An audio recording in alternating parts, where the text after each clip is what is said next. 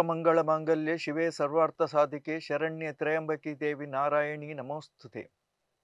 ನವರಾತ್ರಿಯ ಒಂಬತ್ತನೆಯ ದಿನವಾದಂತಹ ಇಂದು ಸಿದ್ಧಿದಾತ್ರಿಯನ್ನು ಆರಾಧಿಸುವಂತಹದ್ದು ಕ್ರಮ.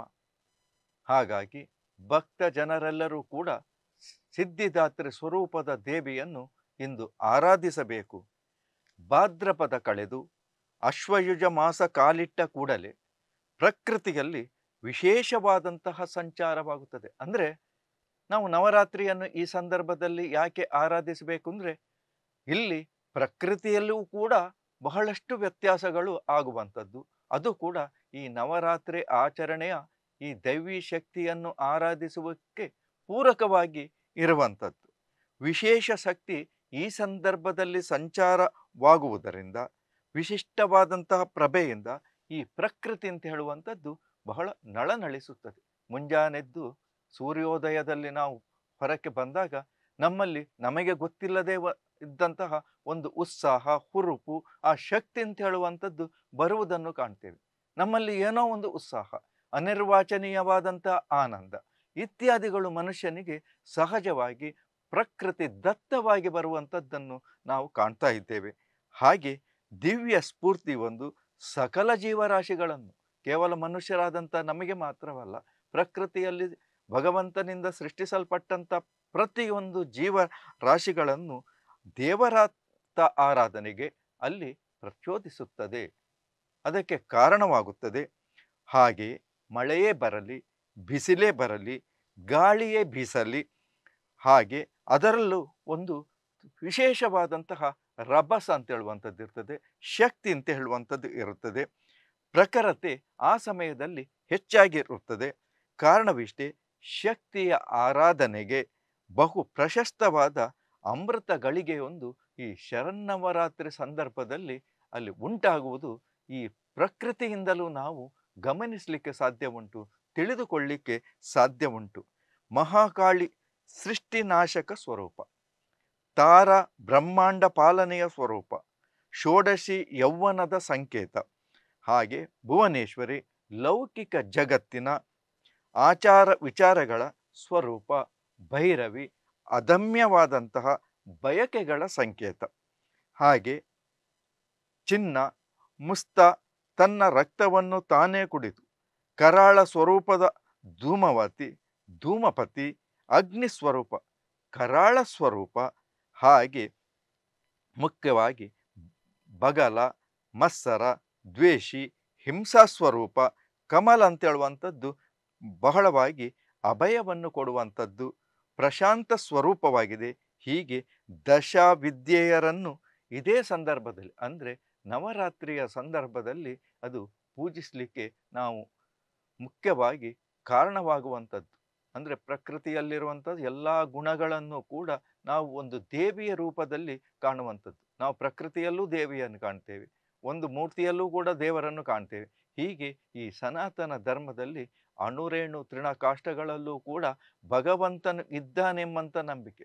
ಆದ್ದರಿಂದಲೇ ಈ ಸನಾತನ ಧರ್ಮದಲ್ಲಿ ಹೆಚ್ಚಿನ ಜನರು ಅಲ್ಲಿ ಅಹಿಂಸಾವಾದಿಗಳಾಗಿದ್ದು, ಸಾತ್ವಿಕತೆಯನ್ನು ಅಲ್ಲಿ ಬೆಳೆಸಿಕೊಂಡು, ಅಲ್ಲಿ ಸಮಾಜಕ್ಕೆ ಪೂರಕವಾಗಿ ಅವರಲ್ಲಿ ನಯ, ವಿನಯ, ಭಕ್ತಿ ಅಂತ ಹೇಳುವಂಥದ್ದು, ಮಾನವೀಯತೆ ಅಂತ ಹೇಳುವಂಥದ್ದು ಶ್ರೇಷ್ಠವಾಗಿ ಇರುವುದಕ್ಕೆ ಇವೆಲ್ಲವೂ ಕೂಡ ಕಾರಣವಾಗುತ್ತದೆ. ಹಾಗಾಗಿ ಈ ನವರಾತ್ರಿಯ ಸಂದರ್ಭದಲ್ಲಿ ಈ ಎಲ್ಲ ಒಂದು ರೂಪವನ್ನು ನಾವು ದೇವಿಯ ಸ್ವರೂಪದಿಂದ ಪೂಜಿಸುವುದು ಕೂಡ ಅಷ್ಟೇ ವಿಶೇಷವಾಗಿ ಇರುತ್ತದೆ. ಹಾಗೆ ನವರಾತ್ರಿಯ ಆಚರಣೆಯ ಪೌರಾಣಿಕ ಹಿನ್ನೆಲೆ ಏನು ಇದಕ್ಕೆ ಏನಾದರೂ ಒಂದು ಕಾರಣ ಅಂತ ಹೇಳುವಂಥದ್ದು ಬೇಕು. ಅನ್ ಏನಂದರೆ ಲೋಕ ಕಲ್ಯಾಣಾರ್ಥವಾಗಿ ದೇವಿಯು ದುಷ್ಟ ರಾಕ್ಷಸರ ಸಂಹಾರವನ್ನು ಮಾಡಲು ನಾನಾ ರೂಪಗಳನ್ನು ಧರಿಸುತ್ತಾರೆ. ಒಬ್ಬ ಮನುಷ್ಯ ಇರ್ತಾನೆ. ಆ ಮನುಷ್ಯ ನಾನಾ ರೀತಿಯಾದಂಥ ಕಾರ್ಯಗಳನ್ನು ಮಾಡುವಾಗ ಆ ಕಾರ್ಯಕ್ಕೆ ಅನುಗುಣವಾಗಿ ಅವನಿಗೆ ಹೆಸರನ್ನು ಇಡುವಂಥದ್ದು. ವಕೀಲಿ ವೃತ್ತಿ ಮಾಡುತ್ತಿದ್ದರೆ ಅವನನ್ನು ನ್ಯಾಯವಾದಿ ಅಂತ ಹೇಳುವಂಥದ್ದು. ವೈದ್ಯನಾದರೆ ಆತನನ್ನು ಡಾಕ್ಟರ್ ಅಂತ ಹೇಳುವಂಥದ್ದು, ವೈದ್ಯ ಅಂತ ಹೇಳುವಂಥದ್ದು. ಆತ ಪೂಜೆ ಪುನಸ್ಕಾರಗಳನ್ನು ಮಾಡ್ತಿದ್ರೆ ಅರ್ಚಕ, ಯಾವುದೋ ತಾಂತ್ರಿಕತೆಯಲ್ಲಿದ್ದರೆ ಆತನನ್ನು ಇಂಜಿನಿಯರ್ ಅಂತ ಹೇಳುವಂಥದ್ದು. ಈ ರೀತಿಯಾಗಿ ಆತನ ಉದ್ಯೋಗಕ್ಕೆ ಅನುಗುಣವಾಗಿ ನಾವು ಕರಿತೀವಿ. ಅದೇ ರೀತಿ ದೇವಿಯು ನಾನಾ ಸ್ವರೂಪದಿಂದ ನಾನಾ ಶಕ್ತಿಗಳನ್ನು ಪಡೆದುಕೊಂಡು ದುಷ್ಟ ರಾಕ್ಷಸರು ವಿಜೃಂಭಿಸುತ್ತಿರುವಂಥ ಸಂದರ್ಭದಲ್ಲಿ ಆ ರಾಕ್ಷಸರನ್ನು ಕೊಲ್ಲಿಕ್ಕೆ ಯಾವ ರೂಪವನ್ನು ತಳಿಬೇಕು? ಆ ರೀತಿಯಾದಂಥ ರೂಪವನ್ನು ತಳೆದು ಆಕೆ ರಾಕ್ಷಸರನ್ನು ಕೊಂದು ಲೋಕಕ್ಕೆ ಹಿತವನ್ನು ಉಂಟು ಮಾಡುವಂಥದ್ದು ನಾವು ಕಾಣ್ತೇವೆ. ಹಾಗೆ ಸಾತ್ವಿಕತೆಯ ವಿಜಯವು ಇದರಿಂದ ದೊರಕುತ್ತದೆ. ಎಲ್ಲ ದುಷ್ಟರ ನಾಶ ಆದಾಗ ಆ ಸಾತ್ವಿಕತೆಗೆ ಅಂದರೆ ಅಲ್ಲಿ ಭಕ್ತರಿಗೆ ವಿಜಯವೂ ದೊರೆಯುತ್ತದೆ. ಆ ಕಾರಣದಿಂದ ದೇವಿಯು ಆವಿರ್ಭವಿಸಿದಂತಹ ಈ ರಾತ್ರಿಯ ದಿನವನ್ನು ಅಂದಿನಿಂದ ಇಂದಿನವರೆಗೂ ಆಚರಿಸಿಕೊಂಡು ಬರಲಾಗುತ್ತಿದೆ. ಅಂದರೆ ದೇವಿ ಒಂಬತ್ತು ದಿನಗಳ ಕಾಲ ದುಷ್ಟ ರಾಕ್ಷಸರನ್ನು ಕೊಂದು ಹತ್ತನೆಯ ದಿನ ವಿಜಯವನ್ನು ಪಡ್ಕೊಂಡದ್ದರಿಂದ, ದುಷ್ಟ ರಾಕ್ಷಸರೆಲ್ಲರೂ ಕೂಡ ಸಂಹಾರವಾದ್ದರಿಂದ ಅದನ್ನು ನಾವು ಕೊನೆಯದಾಗಿ ವಿಜಯದಶಮಿ ಎಂಬುದಾಗಿ ಅಲ್ಲಿ ಆಚರಣೆಯನ್ನು ಮಾಡುವಂಥದ್ದು. ಇಂದು ನವರಾತ್ರಿಯ ಒಂಬತ್ತನೆಯ ನವಮಿ ಈ ದಿನವನ್ನು ಸಿದ್ಧಿರಾತ್ರಿ ಜಗನ್ಮಾತೆ ದುರ್ಗಾದೇವಿಯ ಒಂಬತ್ತನೆಯ ಶಕ್ತಿಯ ಹೆಸರು. ಇದು ಆಕೆಯ ಒಂಬತ್ತನೆಯ ಹೆಸರಾಗಿರುತ್ತದೆ. ಸಿದ್ಧಿರಾತ್ರಿ ಆಗಿದೆ. ಇದು ಆಕೆಯ ಒಂಬತ್ತನೆಯ ಶಕ್ತಿಯ ಸ್ವರೂಪವೂ ಕೂಡ. ಹೌದು, ಈ ಎಲ್ಲ ಪ್ರಕಾರದ ಈಕೆ ಸಿದ್ಧಿಯನ್ನು ಅನುಗ್ರಹಿಸುವವಳು ನಮಗೆ ಮನುಷ್ಯನಿಗೆ ಏನೆಲ್ಲ ಬೇಕು, ಅವೆಲ್ಲವನ್ನು ಕೂಡ ಅನುಗ್ರಹಿಸುವವಳು ಈ ದೇವಿಯೇ ಆಗಿದ್ದಾಳೆ. ಹಾಗಾಗಿ ಇವಳನ್ನು ಪೂಜೆ ಮಾಡುವುದರಿಂದ ಬ್ರಹ್ಮಾಂಡದಲ್ಲಿ ಪ್ರತಿಯೊಬ್ಬ ಉಪಾಸಕರು ಕೂಡ ಅವರಿಗೆ ಬೇಕಾದಂಥ ಅವರು ಯಾವ ಕುರಿತು ಅವರ ಅಪೇಕ್ಷೆಯನ್ನು ಪಡ್ತಾರೆ, ಅದರ ಕುರಿತು ವಿಜಯವನ್ನು ಪಡೆಯುವಂತಹ ವಿಶೇಷವಾದಂತಹ ದಿನ ಇಜ, ಇದಾಗಿರುತ್ತದೆ. ಹಾಗೆ ಅಂತಹ ಸಾಮರ್ಥ್ಯವನ್ನು ಕೂಡ ಅವರು ಪಡೆದುಕೊಳ್ಳುತ್ತಾರೆ. ಭಗವಾನ್ ಅಂದರೆ ಭಗವಂತನು ಇವಳ ಕೃಪೆಯಿಂದಲೇ ಈ ಎಲ್ಲ ಸಿದ್ಧಿಯನ್ನು ಪಡೆದುಕೊಂಡಿದ್ದಾನೆ. ಈ ಸೃಷ್ಟಿ, ಸ್ಥಿತಿ, ಲಯ ಅಂತ ಹೇಳ್ತೇವೆ. ಇವರೆಲ್ಲರೂ ಕೂಡ ತಮ್ಮ ತಮ್ಮ ಕಾರ್ಯಗಳಲ್ಲಿ ವಿಶೇಷವಾಗಿ ಅವರು ಸಾಧಿಸಬೇಕಾದ್ರೆ ಈಕೆಯ ಅನುಗ್ರಹ ಅಂತ ಹೇಳುವಂಥದ್ದು ಅವ್- ಅವರಿಗೆ ಬೇಕಾಗಿತ್ತು. ಹಾಗೆ ಭಗವಾನ್ ಶಿವನ ಅರ್ಧ ಶರೀರವು ಈ ದೇವಿಯದ್ದಾಗಿತ್ತು. ಆದ್ದರಿಂದ ಆತನನ್ನು ಅರ್ಧನಾರೀಶ್ವರ ಅಂತೇಳಿ ನಾವು ಕರೆಯುವಂಥದ್ದು. ಹಾಗೆ ಭಗವಾನ್ ಶಿವನು ಈಕೆಯ ಅನುಗ್ರಹಕ್ಕೂ ಕೂಡ ಪಾತ್ರನಾಗಿದ್ದಾನೆ. ಹಾಗೆ ಅರ್ಧನಾರೀಶ್ವರ ಎಂಬುದಾಗಿ ಹೆಸರಿನಿಂದಲೂ ಪ್ರಸಿದ್ಧಿಯನ್ನು ಪಡೆದನು. ಈ ದೇವಿಯ ಪೂಜೆಯಿಂದ ಲೌಕಿಕ, ಪರಲೌಕಿಕ ಎಲ್ಲ ಪ್ರಕಾರದ ಕಾಮನೆಗಳು ಪೂರ್ತಿಯಾಗಿ ತಾಯಿಯ ಭಾಗ, ಭಗವತಿಯ ಸಾನ್ನಿಧ್ಯ ಅಂತ ಹೇಳುವಂಥದ್ದು ಮನುಷ್ಯನಿಗೆ ಲಭ್ಯವಾಗುತ್ತದೆ. ಅಂದರೆ ಮನಸ್ಸು, ಬುದ್ಧಿ, ಚಿತ್ತ, ಅಹಂಕಾರ ಇವೆಲ್ಲವೂ ಕೂಡ ಆತ್ಮನ ಹಿಡಿತಕ್ಕೆ ಬಂದಾಗ, ಅಂದರೆ ನಮ್ಮ ಸ್ವಾಧೀನಕ್ಕೆ ಬಂದಾಗ, ನಮ್ಮ ಒಂದು ನಾವು ಹೇಳ್ತೇವೆ ಏನು ಕಂಟ್ರೋಲ್ ಅಂತೇಳಿ. ನಮ್ಮ ವಿಚಾರಗಳಿಗೆ ನಮ್ಮ ಹಿಡಿತಕ್ಕೆ ಬಂದಾಗ ಅಸಾಧ್ಯವಾದುದನ್ನು ಸಾಧಿಸುವಂತಹ ಶಕ್ತಿ ಬರ್ತದೆ. ಒಂದು ಮನಸ್ಸು ಅಂತ ಹೇಳುವಂಥದ್ದು ಹಾಗೆ. ನಮ್ಮ ಒಂದು ಅರಿಷಡ್ ವರ್ಗ ಅಂತ ಹೇಳುವಂಥದ್ದು ಹೇಳು- ನಮ್ಮ ಹಿಡಿತದಲ್ಲಿ ಇದ್ದಾಗ ಅವುಗಳು ನಮ್ಮನ್ನು ಏನು ಮಾಡಲಿಕ್ಕೂ ಸಾಧ್ಯವಿಲ್ಲ. ಅವು, ಅವುಗಳು ನಮ್ಮನ್ನು ಮೀರಿ ಹೊರಟಾಗ ಮನುಷ್ಯ ಪಡಬಾರದಂಥ ಕಷ್ಟವನ್ನು ಅಲ್ಲಿ ಪಡುವಂಥದ್ದು. ಇದು ನಾವು ಪ್ರಪಂಚದಲ್ಲಿ ಕಾಣುವಂಥದ್ದು. ಹಾಗಾಗಿ ಈಕೆಯನ್ನು ಪೂಜಿಸುವುದರಿಂದ ಇವೆಲ್ಲವೂ ಕೂಡ ಮನುಷ್ಯನ ಹಿಡಿತದಲ್ಲಿ ಬರುತ್ತದೆ. ಅವನ ಅಧೀನದಲ್ಲಿ ಇರುತ್ತದೆ. ಹಾಗೆ ನವದುರ್ಗೆಯಲ್ಲಿ ಸಿದ್ಧಿರಾತ್ರಿ ದೇವಿಯು ಕೊನೆಯವಳಾಗಿದ್ದಾಳೆ. ಕೊನೆಯದಾಗಿ ಒಂಬತ್ತನೆಯ ದಿನ ಈಕೆಯನ್ನು ಆರಾಧಿಸುವುದಾಗಿದೆ. ಎಂಟು ದುರ್ಗೆಯರ ಪೂಜೆ, ಉಪಾಸನೆಯನ್ನು ಭಕ್ತಿಯಿಂದ ಶಾಸ್ತ್ರೀಯವಾಗಿ, ಅಂದರೆ ಹಿಂದೆ ನಮ್ಮ ಪೂರ್ವಿಕರು ಹೇಗೆ ವಿಧಿ ವಿಧಾನಗಳನ್ನು ಹೇಗೆ ಪೂಜಿಸಬೇಕು, ಅರ್ಚಿಸಬೇಕು ಅಂತ ನಮಗೆ ಮಾರ್ಗದರ್ಶನವನ್ನು ಕೊಟ್ಟಿದ್ದಾರೆ. ಅದನ್ನೇ ನಾವು ಆ ಪರಂಪರೆಯನ್ನೇ ಮುಂದುವರಿಸಿಕೊಂಡವಾಗಿ ಭಕ್ತರು ನವರಾತ್ರಿಯಂದು ಒಂಬತ್ತನೇ ದಿನ ಇವಳ ಉಪಾಸನೆಯಲ್ಲಿ ಪ್ರವೃತ್ತರಾಗುವುದರಿಂದ ಸಿದ್ಧಿರಾತ್ರಿಯ ದಾತ್ರಿಯ ಕೃಪೆಗೆ ನಾವು ಪಾತ್ರರಾಗುವಲ್ಲಿ ಭಕ್ತರಲ್ಲಿ ಮುಂದೆ ಅವರು ಬಯಸುವ ಯಾವುದೇ ರೀತಿಯಾದಂತಹ ಕಾಮನೆಗಳು ಉಳಿಯುವುದಿಲ್ಲ. ಮನುಷ್ಯನಿಗೆ ಇರ್ತದೆ. ಒಂದಾದ ಕೂಡಲೇ ಒಂದು. ಒಂದು ಸಿಕ್ಕಿದ ಮೇಲೆ ಮತ್ತೊಂದು ಬೇಕು ಅಂತ ಹೇಳುವಂಥ ಬಯಕೆಗಳು.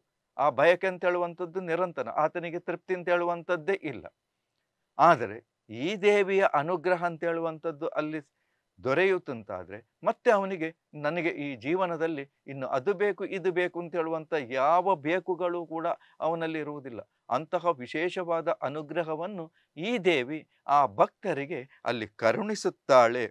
ಕಾಮ, ಅಂದರೆ ಯಾವುದೇ ಕಾಮನೆಗಳು ಬಾಕಿ ಉಳಿಯುವುದಿಲ್ಲ. ಅವನು ಸಾಂಸಾರಿಕ ಬಂಧನಗಳಿಂದ ಮುಕ್ತಿಯನ್ನು ಪಡೆದು ಭಗವತಿಯ ದಿವ್ಯ ಲೋಕದಲ್ಲಿ ಆತ ಸಂಚರಿಸುತ್ತಾ ಅವಳ ಕೃಪಾ ಕಟಾಕ್ಷಕ್ಕೆ ಪಾತ್ರರಾಗುತ್ತಾ ವಿಷಯ ಭೋಗ ಅಂತೇಳುವಂಥದ್ದು ಆತನಲ್ಲಿ ಶೂನ್ಯವಾಗಿರುತ್ತದೆ. ಇನ್ನು ನನಗೆ ಈ ಪ್ರಪಂಚದಲ್ಲಿ ಈ ದೇಹವನ್ನು ಪಡ್ಕೊಂಡು ಇನ್ನು ಯಾವುದೂ ನನಗೆ ಬೇಕು ಅಂತ ಅನ್ನಿಸುವುದಿಲ್ಲ. ಅವನಿಗೆ ಕೊನೆಯದಾಗಿ ಆತನ ಮನಸ್ಸಿನಲ್ಲಿ ಅಲ್ಲಿ ಮುಖ್ಯವಾಗಿ ಕೈವಲ್ಯ ಪದವಿಯನ್ನೇ ಪಡೆಕೊಳ್ಳುವಂಥದ್ದೇ ಅವನಿಗೆ ಮುಖ್ಯವಾಗಿ ಇರುವಂತಹ ಆಶಯವಾಗಿರ್ತದೆ. ಅದಕ್ಕಾಗಿ ಈ ದೇವಿಯನ್ನು ಆತ ಭಕ್ತಿಯಿಂದ ಪೂಜಿಸುವಂಥದ್ದು ನಾವು ಕಾಣ್ತೇವೆ. ಹಾಗೆ ತಾಯಿ ಭಗವತಿಯ ಪರಮ ಸಾನ್ನಿಧ್ಯವೇ ಅವನಿಗೆ ಸರ್ವ ಸ್ವರ್ಗ ಇದಕ್ಕಿಂತ ಮೇಲಿನ ಸ್ವರ್ಗ ಇಲ್ಲ. ಯಾಕಂದ್ರೆ ಆ ಸ್ಥಿತಿಯನ್ನು ಆತ ತಲುಪಿ ಬಿಟ್ಟಿರ್ತಾನೆ ಮತ್ತೆ ಅವನಿಗೆ ಈ ಲೌಕಿಕವಾದಂಥ, ಕ್ಷುಲ್ಲಕವಾದಂಥ ಯಾವ ವಿಚಾರಗಳು ಆತನಿಗೆ ಬೇಕು ಅಂತ ಅನ್ನಿಸುವುದಿಲ್ಲ. ಹಾಗೆ ಸರ್ವ ಸ್ವವು ಕೂಡ ಅದೇ ಆಗಿರುತ್ತದೆ. ಈ ಪರಮ ಪದವನ್ನು ಪದ, ಪಡೆದ ನಂತರ ಅವನಿಗೆ ಬೇರೆ ಯಾವುದರ ಅವಶ್ಯಕತೆಯೇ ಉಳಿಯುವುದಿಲ್ಲ. ಜ್ಞಾನ ಅಂತ ಹೇಳುವಂಥದ್ದು ಆತ ಕೊನೆಯ ಹಂತವನ್ನು ಮುಟ್ಟಿಬಿಡ್ತಾನೆ. ಅವನಿಗೆ ಮತ್ತೆ ಏನು ಬೇಕು ಅಂತ ಅನ್ನಿಸುವುದೇ ಇಲ್ಲ. ನವಮಿಯಂದು ಆಯುಧ ಪೂಜಾ ದಿನ. ಈ ದಿನದ ವಿಶೇಷತೆ ಏನು? ಜನರು ಆಯುಧ ಪೂಜೆ. ಅಂದರೆ ಈಗಿನ ಕಾಲದಲ್ಲಿ ಜನರು ಉಪಯೋಗಿಸುವಂತಹ ವಸ್ತುಗಳನ್ನು, ದಿನನಿತ್ಯ ಅವರ ಸಲಕರಣೆಗಳನ್ನು ಕೂಡ ಅದನ್ನು ತಮ್ಮ ಆಯುಧ ಅಂತ ತಿಳಿದುಕೊಂಡು ತಮ್ಮ ಉದರ ಪೋಷಣೆಗಾಗಿ ಅದು ಬೇಕಾದರೆ ಇರಲಿ. ಅದನ್ನು, ಯಂತ್ರಗಳನ್ನು, ಇತ್ಯಾದಿಗಳನ್ನು ಎಲ್ಲವನ್ನು ಕೂಡ ಅವರು ಆ ದಿನ ಸ್ವಚ್ಛಗೊಳಿಸಿಕೊಂಡು ಅದನ್ನು ಅಲಂಕರಿಸಿ ಅಲ್ಲಿ ಪೂಜಿಸುವಂಥ ದಿನ. ಆಯುಧ ಪೂಜಾ ದಿನ ಆಗಿರುತ್ತದೆ. ಅಂದರೆ ಇದಕ್ಕೆ ಕಾರಣ ಏನು? ಇದಕ್ಕೆ ಯಾಕೆ ಈ ಆಯುಧ ಪೂಜಾ ಅಂತ ಹೇಳುವಂಥದ್ದು ರೂಢಿಯಲ್ಲಿ ಬಂತು, ಪ್ರಚಲಿತದಲ್ಲಿ ಬಂತು? ಅದನ್ನು ಹೇಳುವುದಾದರೆ, ಹಿಂದೆ ಪಾಂಡವರು ತಮ್ಮ ವನವಾಸದ ಕಾಲದಲ್ಲಿ, ಅಂದರೆ ವನವಾಸ ಮುಂತ ಹೇಳುವಂಥದ್ದು ಮುಗಿದು ಆ ಅಜ್ಞಾತವಾಸವನ್ನು ಅವರು ಮಾಡಬೇಕಿತ್ತು. ಅಜ್ಞಾತವಾಸ ಅಂದರೆ ಯಾರಾದರೂ ಇವರು ಪಾಂಡವರು ಅಂತ ಗುರುತಿಸಲಿಕ್ಕೆ ಬಾರದು. ಗುರುತಿಸುತ್ತಂತಾದರೆ ಆ ವಿಚಾರ ಅಂತ ಹೇಳುವಂಥದ್ದು ಕೌರವೇಶ್ವರನಿಗೆ ಗೊತ್ತಾಯಿತು ಅಂತಾರೆ. ಮತ್ತೆ ಪುನಃ ಅವರು ಹನ್ನೆರಡು ವರ್ಷ ವನವಾಸವನ್ನು ಅನುಭವಿಸಬೇಕಾಗಿತ್ತು. ಹಾಗಾಗಿ ಅವರು ಒಂದು ವರ್ಷ ಅಜ್ಞಾತವಾಸವನ್ನು ಯಾರಿಗೂ ಗೊತ್ತೇ ಆಗಬಾರದು. ಅಂತಹ ಸಂದರ್ಭದಲ್ಲಿ ಅವರ ಕೈಯಲ್ಲಿದ್ದಂತಹ ಶಸ್ತ್ರಾಸ್ತ್ರಗಳು, ಯಾಕಂದರೆ ಶಸ್ತ್ರಾಸ್ತ್ರಗಳನ್ನು ಹಿಡಿದು ತಿಳಿದರೆ ಇವರು ಕ್ಷತ್ರಿಯರು ಅಂತ ಗೊತ್ತಾಗ್ತದೆ. ಅದನ್ನು ಅವರು ಬಚ್ಚಿಡಬೇಕಿತ್ತು. ಆಯುಧಗಳನ್ನು ಅಶ್ವಯುಜ ನವಮಿಯಂದು ಅವರು ಬಚ್ಚಿಟ್ಟ ಅಕ್ಷ, ಅಸ್ತ್ರವನ್ನು ನವಮಿಯಂದು ಅವರು ಮತ್ತೆ ಪುನಃ ತೆಗೆದುಕೊಳ್ಳುವಂಥದ್ದು. ಹಾಗೆ ಅದನ್ನು ಪೂಜಿಸಿ ದಶಮಿಯಂದು ವಿರಾಟರಾಜನ ಶತ್ರುಗಳ ಮೇಲೆ ವಿಜಯವನ್ನು ಸಾಧಿಸಿದ್ದರು. ತಾವು ಅಜ್ಞಾತವಾಸದಲ್ಲಿ ತಮ್ಮ ಶಸ್ತ್ರಾಸ್ತ್ರಗಳನ್ನು ಒಂದು ಕಡೆ ಬಚ್ಚಿಟ್ಟದ್ದು. ಅದು ಮುಗಿದ ನಂತರ ಈ ನವಮಿಯಂದು ಅದನ್ನು ಮತ್ತೆ ಪುನಃ ತೆಗೆದು ಆ ತಮ್ಮ ಆಯುಧಗಳನ್ನು ಸ್ವಚ್ಛಗೊಳಿಸಿ ಅದನ್ನು ಪೂಜಿಸಿ ಅಲ್ಲಿ ತಾವು ಎಲ್ಲಿ ಆಶಯವನ್ನು ಪಡೆದುಕೊಂಡಿದ್ರು ಅಜ್ಞಾತವಾಸದಲ್ಲಿ, ಆ ರಾಜನ ಶತ್ರುಗಳನ್ನು ದಮನಿಸುವುದಕ್ಕಾಗಿ ಇದೇ ಶಸ್ತ್ರಾಸ್ತ್ರಗಳನ್ನು ಪಡೆದು ಅವರು ವಿಜಯವನ್ನು ಗಳಿಸಿದ್ರು. ಆದ್ದರಿಂದ ಆ ದಿನವನ್ನು ನಾವು ವಿಜಯದಶಮಿ ಎಂಬುದಾಗಿ ಅಂದಿನಿಂದ ಇಂದಿನವರೆಗೂ ಕೂಡ ಅದನ್ನು ಆಚರಿಸ್ತಾ ಇದ್ದಾರೆ. ಹಾಗೆ ಈ ಮಹಾನವಮಿಯ ಈ ದಿನ ಶಸ್ತ್ರಾಸ್ತ್ರ, ಹಯ, ಗಜ, ವಾಹನ ಹಾಗೂ ಯಂತ್ರಗಳನ್ನು ಪೂಜೆ ಮಾಡುವ ಸಂಪ್ರದಾಯವಿದೆ. ಪೌರಾಣಿಕ ಹಿನ್ನೆಲೆ ಹಾಗಾದರೆ ಇದು ಮತ್ತೊಂದು ಪೌರಾಣಿಕ ಹಿನ್ನೆಲೆ ಏನಂದರೆ ಮಹಿಷಾಸರ ಮೊದಲ, ಹಿಂದೆ ದೇವಿಯು ಮಹಿಷಾಸರ ಮೊದಲಾದಂಥ ರಾಕ್ಷಸರನ್ನು ಕೊಲ್ಲಲು ಉಪಯೋಗಿಸಿದ ಆಯುಗಳನ್ನು ಆಕೆ ಮತ್ತೆ ಬಳಸಲಿಲ್ಲ. ಅದೆಲ್ಲವನ್ನು ಭೂಮಿಯಲ್ಲಿ ಬಂದು ಈ ದುಷ್ಟ ರಾಕ್ಷಸರನ್ನೆಲ್ಲ ಕೊಂದು ಆಕೆ ಲೋಕಕ್ಕೆ ಹಿತವನ್ನು ಉಂಟು ಮಾಡಿತು ಹೀಗೆ ನಾನಾ ರೀತಿಯ ರಾಕ್ಷಸರನ್ನು ಕೊಲ್ಲುವಾಗ ನಾನಾ ರೀತಿಯ ಆಯುಧಗಳನ್ನು ಆಕೆ ಉಪಯೋಗ ಮಾಡಿಕೊಂಡದ್ದನ್ನು ಮತ್ತೆ ಪುನಃ ಬಳಸದೆ ಆಕೆ ಭೂಮಿಯಲ್ಲೇ ಬಿಟ್ಟು ಹೋಗಿದ್ದಳು. ಈ ಆಯುಧವನ್ನು ದೇವಿಯ ಭಕ್ತರು ಆ ಆಯುಧಗಳನ್ನು ಒಂದು ಕಡೆ ಇಟ್ಟುಕೊಂಡು ಅದನ್ನು ಪೂಜಿಸ್ತಾ ಇದ್ರು. ಯಾಕಂದರೆ ನಮಗೆ ದೇವಿಯು ಅಭಯವನ್ನು ನೀಡಿ ದುಷ್ಟರನ್ನು ಸಂಹಾರ ಮಾಡಲಿಕ್ಕೆ ಉಪಯೋಗಿಸಿದ ಈ ಆಯುಧ ಎಂಬಂಥ ಒಂದು ಕಾರಣದಿಂದ ಅದನ್ನು ಬಹಳ ಭಕ್ತಿಯಿಂದ ದೇವಿಯ ಕೈಯಲ್ಲಿ ಇದ್ದಂಥ ಈ ಆಯುಧ, ಇದರಲ್ಲಿ ದೇವಿಯ ಶಕ್ತಿಯೇ ಇದೆ ಎಂಬಂಥ ಕಾರಣದಿಂದ ಅದನ್ನು ಪೂಜಿಸುವಂಥದ್ದು ಕ್ರಮ ಇತ್ತು. ಅದು ಪೂಜೆಯಾಗಿ ಮಾರ್ಪಾಡಾಗಿ ಪ್ರಸಿದ್ಧಿಯನ್ನು ಪಡೆಯಿತು. ಆ ಆಚರಣೆ ಇಂದಿಗೂ ಕೂಡ ಅದು ಮುಂದಕ್ಕೆ ಬಂತು. ಹಾಗೆ ಮುಂದೆ ರಾಜ ಮಹಾರಾಜರು ನವಮಿಯಂದು ತಮ್ಮ ಆಯುಧಗಳನ್ನು ಸ್ವಚ್ಛಗೊಳಿಸಿ, ಅಲಂಕರಿಸಿ ಪೂಜಿಸುತ್ತಾರೆ. ನವಮಿಯಂದು ಅವೆಲ್ಲವನ್ನು ಪೂಜೆ ಮಾಡುವಂಥದ್ದು ದಶಮಿಯಂದು ವಿಜಯ ಯಾತ್ರೆಗೆ ಅವರು ಹೊರಡುತ್ತಿದ್ದರು ಇದು ಇತಿಹಾಸ. ಅಥವಾ ಇದು ಪೌರಾಣಿಕ ಹಿನ್ನೆಲೆ ಇದಕ್ಕೆ ಕಾರಣವಾಗ್ತದೆ. ರಾಜ ಮಹಾರಾಜರು ವಿಜಯ ಯಾತ್ರೆಗೆ ಹೊರಡುವ ಮುನ್ನ ತಮ್ಮ ಈ ಯಾತ್ರೆಯು ನಿರ್ವಿಘ್ನವಾಗಿ, ಸುಖಕರವಾಗಿ ಮಾಡು ಎಂಬುದಾಗಿ ಪ್ರಾರ್ಥಿಸಿಕೊಂಡು ಹೋಗುತ್ತಿದ್ದರು. ಯಾರನ್ನು ಪ್ರಾರ್ಥಿಸಬೇಕು? ದೇವಿಯನ್ನೇ ಪ್ರಾರ್ಥಿಸಬೇಕು. ಹಾಗೆ ದೇವಿಯನ್ನು ಪ್ರಾರ್ಥಿಸಿ ಅದರಲ್ಲಿ ಸಫಲರೂ ಆಗ್ತಿದ್ರು. ವಿಜಯವನ್ನೂ ಅವರು ಪಡೆಯುತ್ತಿದ್ದರು ಕುರುಕ್ಷೇತ್ರ ಯುದ್ಧದಲ್ಲಿ ಅರ್ಜುನ ಯುದ್ಧ ಆರಂಭಿಸುವ ಮೊದಲು ಈ ಶಮೀ ವೃಕ್ಷವನ್ನು ಪೂಜಿಸಿ ಪ್ರಾರ್ಥಿಸಿದ್ದ ಎಂಬುದು ನಾವು ಕೂಡ ಇಲ್ಲಿ ಪುರಾಣದಲ್ಲಿ ಉಲ್ಲೇಖವಿದೆ. ಇಂತಹ ಪೂರಕವಾದಂತಹ ದಾಖಲೆ ಎಂಬಂತೆ ವಿಜಯದಶಮಿಯ ದಿನದಂದು ಒಂದು ಶ್ಲೋಕ ಕೂಡ ಅಲ್ಲಿ ಪ್ರಚಲಿತದಲ್ಲಿ ಕಾಣ್ತೇವೆ. ಏನು ಆ ಶ್ಲೋಕ? ಅಂದರೆ, ಶಮಿ ಶಮೇತೆ ಪಾಪಂ, ಶಮಿ ಶತ್ರು ವಿನಾಶಿನಿ ಅರ್ಜುನಶ್ಯ ಧನುರ್ಧಾರಿ, ರಾಮಸ್ಯ ಪ್ರಿಯದರ್ಶಿನಿ, ಕರಿಷ್ಯಮಾಣ ಯತ್ ಯತ್ರಾಯ, ಯಥಾಕಾಲಂ ಸುಖಮ್ಮಯ, ತತ್ರ ನಿರ್ವಿಘ್ನ ಕರ್ತೃತ್ವಂ ಭವ ಶ್ರೀರಾಮ ಪೂಜಿತ ಅಂತ. ಅಂದರೆ, ಈ ಶ್ಲೋಕ ಅಂತ ಹೇಳುವಂಥದ್ದು ಬಹಳ ವಿಶೇಷತೆಯನ್ನು ಪಡೆದಿದೆ. ಅಂದರೆ ಶಮಿ ಅಂತ ಹೇಳಿದರೆ ಅದನ್ನು ನಾವು ಬನ್ನಿ ವೃಕ್ಷ ಅಂತೇಳಿಯೂ ಕೂಡ ಕರಿತೇವೆ. ಹಾಗೆ ಈ ವೃಕ್ಷವು ಪಾಪವನ್ನು ಹಾಗೂ ಶತ್ರುಗಳನ್ನು ಶಮನ ಮಾಡುತ್ತದೆ. ಅದು ಅರ್ಜುನನ ಬಾಣವನ್ನು ಕಾಪಾಡಿದ್ದು. ಯಾಕಂದರೆ ಅವರು ವನವಾಸಕ್ಕೆ ಹೋದಂಥ ಸಂದರ್ಭದಲ್ಲಿ, ಅಂದರೆ ಅಜ್ಞಾತವಾಸದ ಸಂದರ್ಭದಲ್ಲಿ ಇದೇ ಮರದಲ್ಲಿ ಅವರು ಆ ತಮ್ಮ ಆಯುಧಗಳನ್ನು, ಯಾಕಂದರೆ ಆ ಗಾಂಡೀವ ಧನಸ್ಸು ಅಂತ ಹೇಳುವಂಥದ್ದು ಬಹಳ ಪ್ರಸಿದ್ಧವಾದದ್ದು. ತ್ರಿಲೋಕದಲ್ಲೂ ಕೂಡ ಅಂತಹ ಧನಸ್ಸನ್ನು ಉಪಯೋಗಿಸುವವರು ಯಾರೂ ಇಲ್ಲ. ಆ ಶಕ್ತಿಯನ್ನು ಪಡ್ಕೊಂಡವರು ಇಲ್ಲ. ಆದರೆ ಆ ಗಾಂಡಿವ ಧನುಸ್ಸು ಅಂತ ಹೇಳುವಂಥದ್ದನ್ನು ಯಾರಿಗೂ ಕೂಡ ಅದನ್ನು ಮುರಿಲಿಕ್ಕೂ ಸಾಧ್ಯ ಇರಲಿಲ್ಲ, ಅದನ್ನು ನಾಶ ಮಾಡಲಿಕ್ಕೂ ಸಾಧ್ಯವಿರಲಿಲ್ಲ.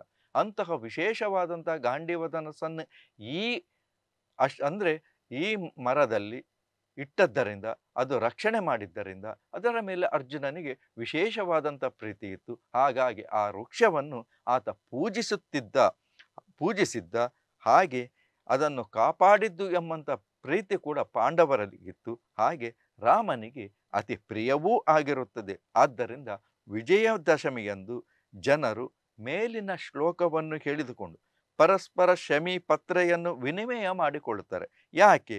ನಾವೇನಾದರೂ ತಿಳಿದೋ ತಿಳಿಯೋದೋ ಏನಾದರೂ ಜೀವನದಲ್ಲಿ ತಪ್ಪುಗಳನ್ನು ಮಾಡಿದರೆ, ಅದರಿಂದ ಪಾಪ ಉಂಟಾಗಿದ್ದರೆ ತನ್ಮೂಲಕ ಈ ಪಾಪ ಅಂತೇಳುವಂಥದ್ದು ಕಳೆದು ಹೋಗಲಿ ಎಂಬಂಥ ಒಂದು ಕಾರಣದಿಂದ ಈ ಶ್ಲೋಕವನ್ನು ಹೇಳಿಕೊಂಡು ಅದನ್ನು ಜನರು ವಿನಿಮಯ ಮಾಡಿಕೊಳ್ಳುತ್ತಿದ್ದರು ಹಾಗಾದರೆ ಶಮಿ ವೃಕ್ಷದ ಮಹತ್ವವೇನು?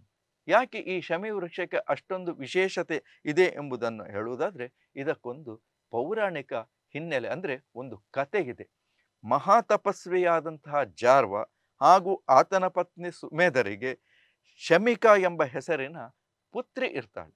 ಪುತ್ರಿ ಹುಟ್ಟಿರ್ತಾಳೆ. ಆಕೆಯು ದೌಮ್ಯ ಮಹರ್ಷಿಯ ಪುತ್ರ ಮತ್ತು ಕೌಶಿಕ ಮಹರ್ಷಿಯ ಶಿಷ್ಯನಾಗಿದ್ದಂತಹ ಮಂದಾರನಿಗೆ ಕೊಟ್ಟು ಅಲ್ಲಿ ವಿವಾಹವನ್ನು ನೆರವೇರಿಸ್ತಾರೆ.